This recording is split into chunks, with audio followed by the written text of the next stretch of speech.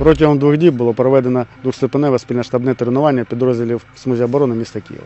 В ході проведення тренування було удосконалено навичок щодо управління підрозділом в ході ведення оборонного бою. Штабами було здійснено вміле управління підрозділів.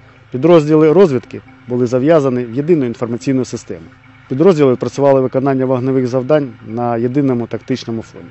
Були застосовані всі наявні види озброєння: стрілецької, міномети, самохідно-артилерійські установки та танки. Наряду з цим комплекс командирських машин управління артилерії «Оболонь» показав спроможність застосування трофейних видів високоточної зброї Краснопіль, що в свою чергу підвищило наші бойові можливості. Дякуємо кацам за ленд-ліз. Слава Україні!